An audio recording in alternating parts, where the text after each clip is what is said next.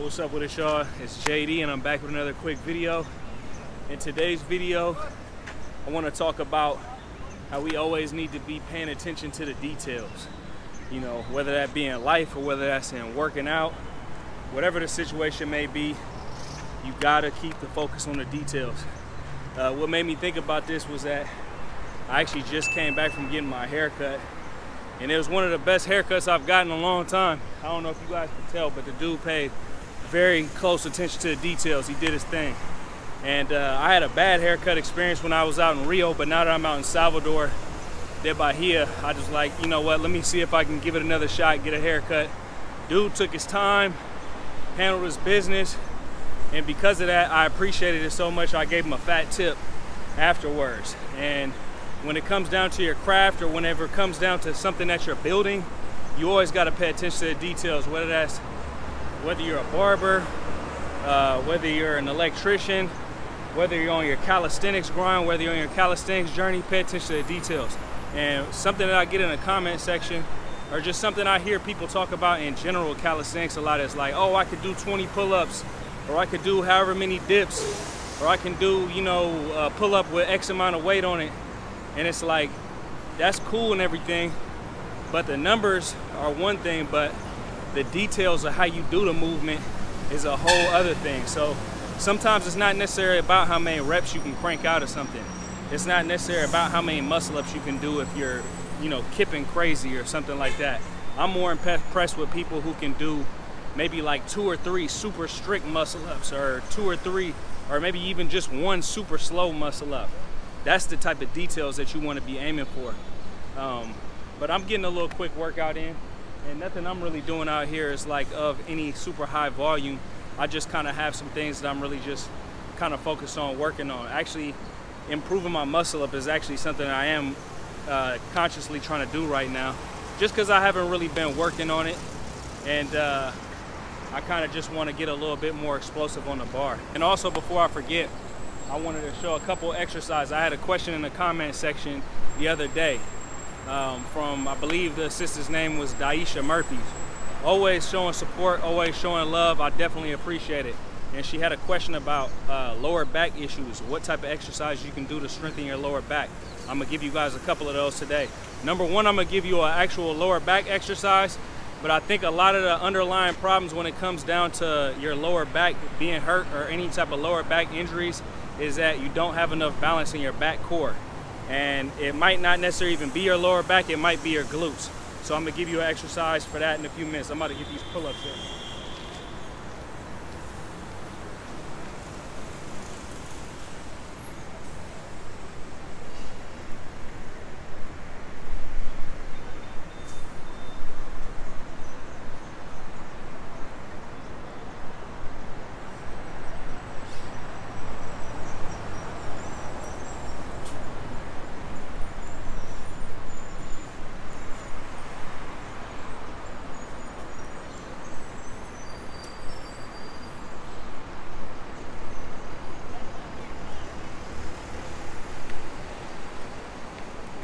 Like I was saying, attention to the details, and that's actually one of the details as well, is having a well-rounded workout plan.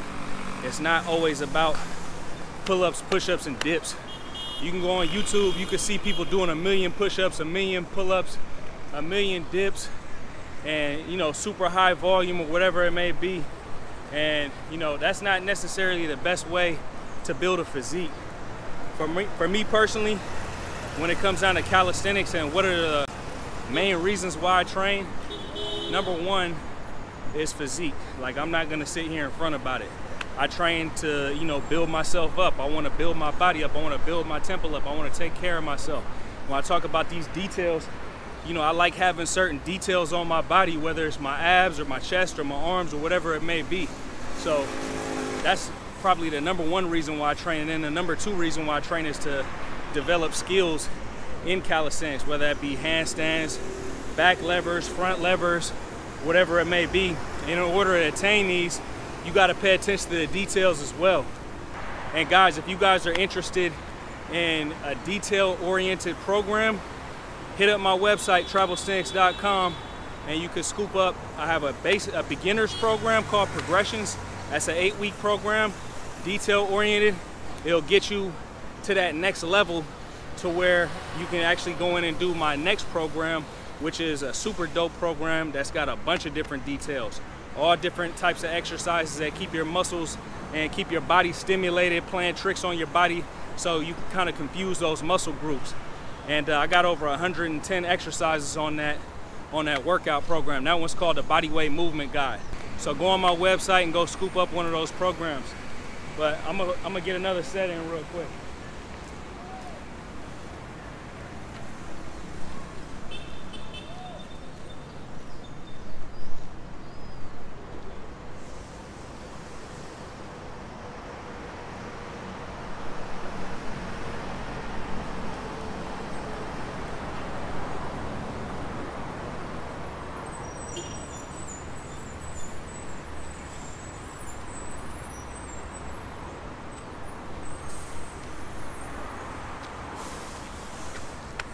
Another thing I kind of wanted to chop it up about what you guys say. I'm all over the place with this video, to be honest with you.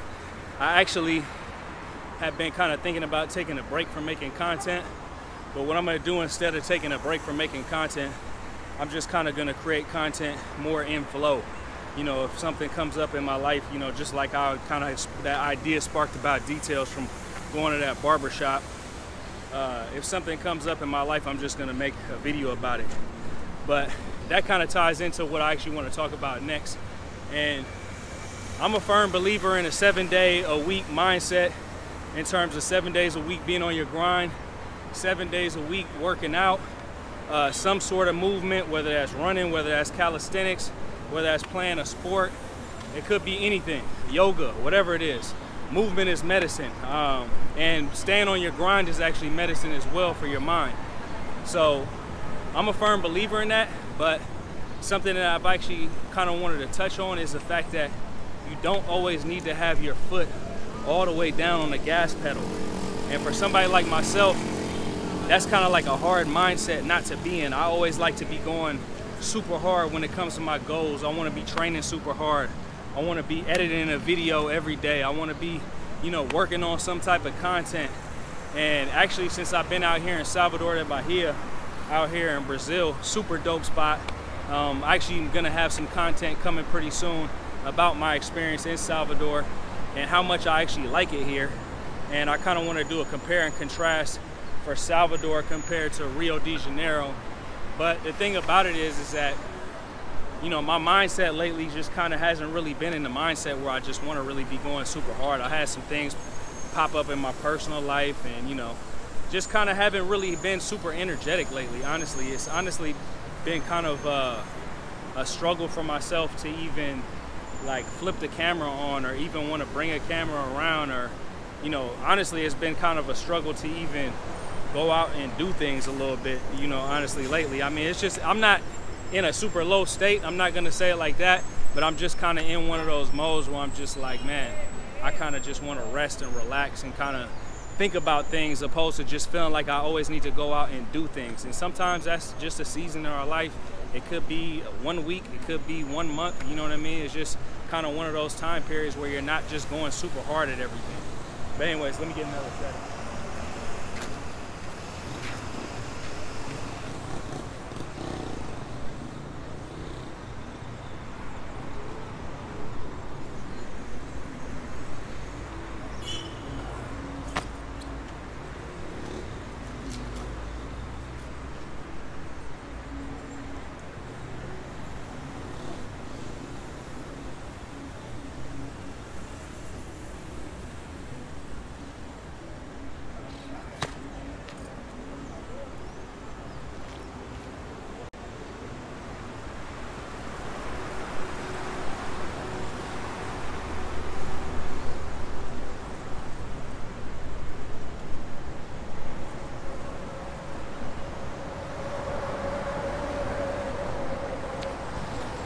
That's another thing. When it comes down to like skill training and when it comes down to training in general, not every single day you're gonna hit your personal record. Not every single day you're gonna come out here and you know hit 10 handstand push-ups or you know 10 muscle ups or feel like you can do 25 straight pull-ups or whatever it may be. Sometimes it's just one of those maintenance days, or sometimes it's one of those days where you're working towards your goal, but you're not necessarily pushing past, you know, maybe your all-time high. So that's something to keep in mind. And you don't always need to be in that mindset of being perfect all the time, because perfect is definitely the enemy of good. And when I say pay attention to the details, I'm more so speaking about pay attention to your form. Pay attention to, you know what I mean, the programming that you're doing. You know, it could be just what you're programming yourself with in life, or it could be what you're programming yourself with in fitness and calisthenics.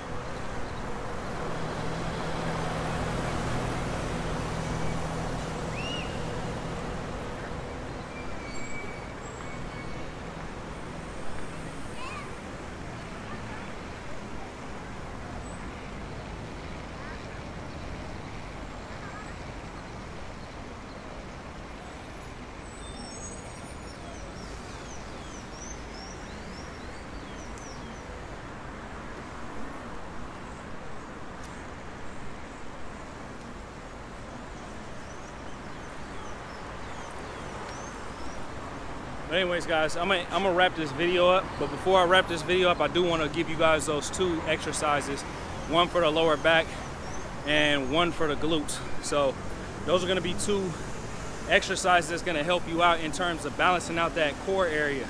Because the core is not just the six pack, it's not just the abs.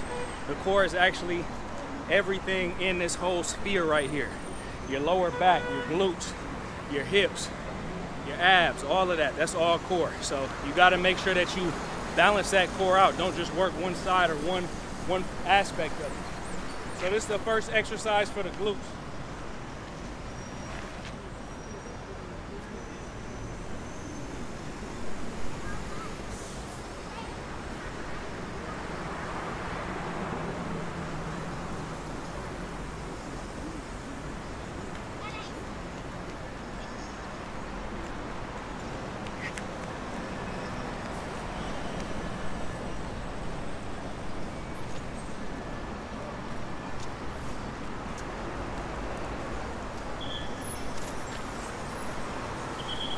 That exercise, I call that uh, those glute raises. So you could do that on like a park bench. You could do it on these parallel bars. This one's a little tricky because sometimes it kind of, you know, you can get a little pain there. But uh, that one is for the glutes. And then this one right, that actually is gonna work the lower back as well, but it really focuses in on those glutes. This one right here is for the lower back. Um, I like to call these parallel bar back raises and uh, these ones hit super hard too. I'm gonna probably show you guys at a couple different angles because it might be difficult to kind of see what I'm doing here.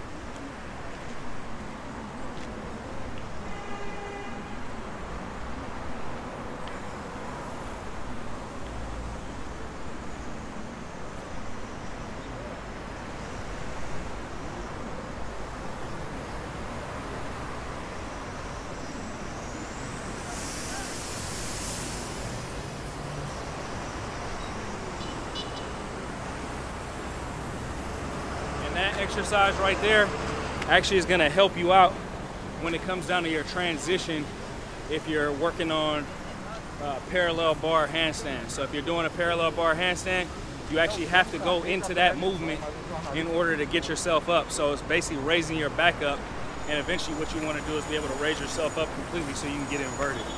But anyways, guys, I'm about to finish up this workout. Just gonna get a quick one in today. Working on some specific movements, like I said kind of working on that front lever strength, trying to build that up, trying to get the explosiveness in the pull-ups so I can help out my muscle ups and then working on these straight bar handstands. I haven't done these in probably shit since I've been to Hawaii more than likely. But uh, guys, hope everybody's having a great day out there. Hit my website up, that's travelsthenix.com. You could book a free consultation with me today. We can map out a blueprint for you to become the best version of yourself. So go ahead and take advantage of that 15 minute consultation for free. Hit my website up. You know, I enjoy talking to you guys and kind of working through some of your guys' problems and stumbling blocks when it comes down to calisthenics or whatever it may be. Uh, hope it, like I said before, hope everybody's having a great day out there. I'll holler at you guys later. Peace.